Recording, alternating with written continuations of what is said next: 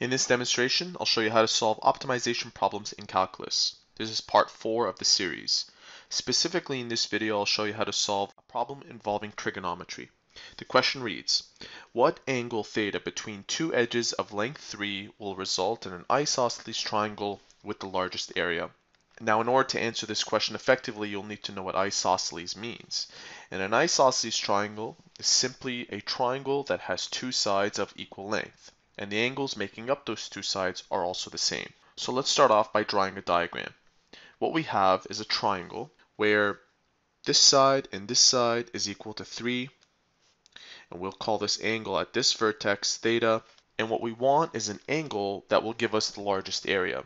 So we'll start off by writing out the formula for the area of a triangle.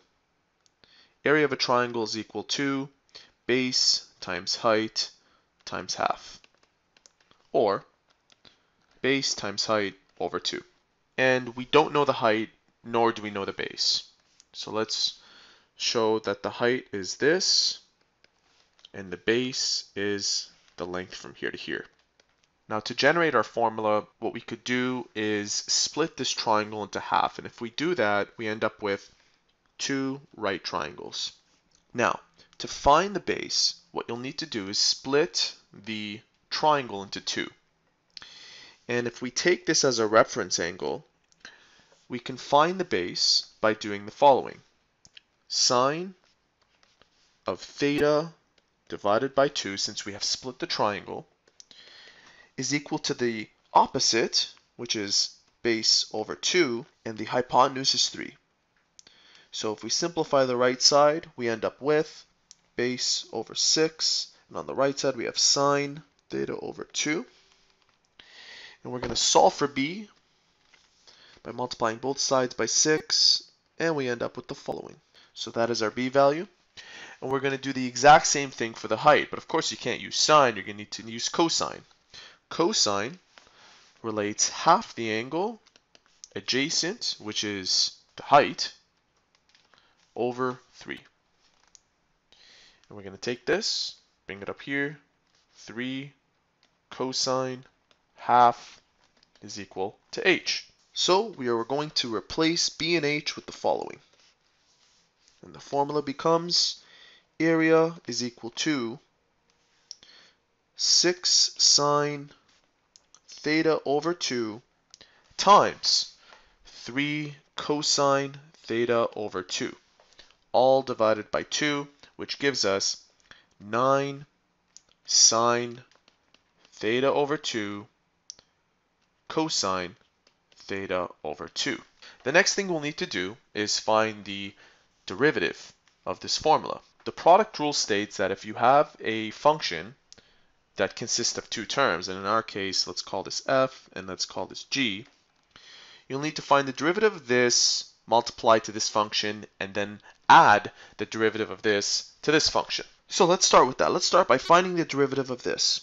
9 times the derivative of sine, which is equal to cosine. Leave this part the way it is, and then find the derivative of the inside.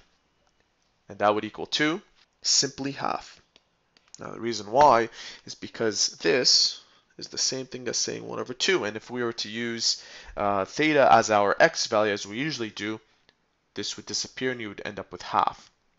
So I'm just going to move this a little bit and I'm going to keep this the way it is, plus, now we're going to keep that the way it is, and find the derivative of cosine. And the derivative of cosine is negative sine.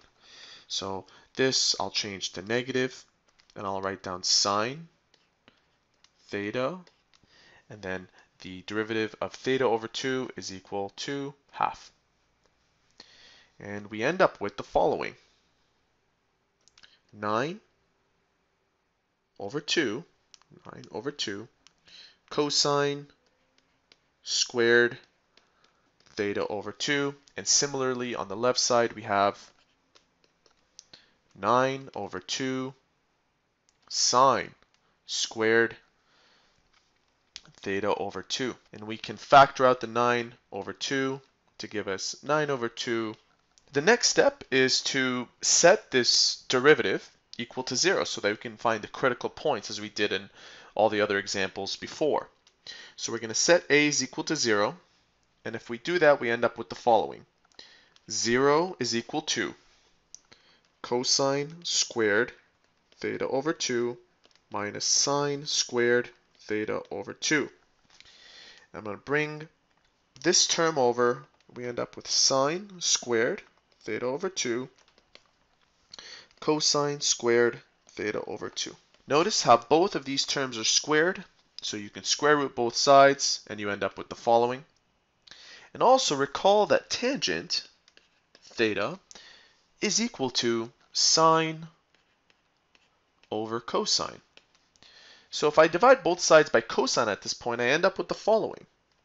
Sine theta over 2 cosine theta over 2, which leads me to tangent theta over 2 is equal to 1. Now, to isolate for what's inside here, the angle, you can take the inverse tangent of both sides. And if you take the inverse tangent of both sides, you end up with the following. Theta over 2 is equal to tangent inverse of 1 and on your calculator, that is equal to 45 degrees. But since we're working with radians here, it's pi over 4. We're still not done. We still need to find out what our theta is. So we're going to multiply both sides by 2, and we end up with pi over 2.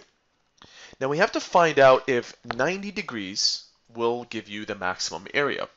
And the only way to do that is to evaluate this in our original equation. Our original equation looked like this. Area was equal to 9 times sine. And so let's plug this number in into our theta. And we end up with, make sure your calculator is in radians, times cosine pi divided by 2 over 2. And the answer we get is 9 over 2.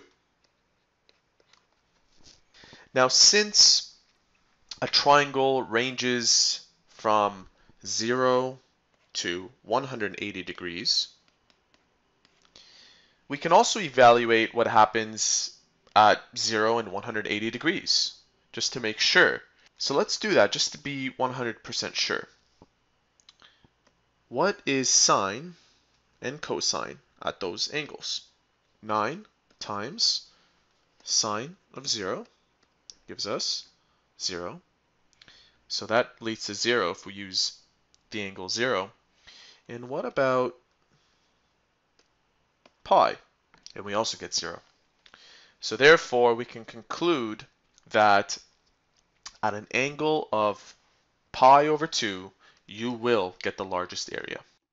If you found this tutorial helpful, please support our channel by subscribing or by liking this video. If you have any further questions, you may visit our website at biology-forums.com. We are an online service for students seeking free homework help. See you soon.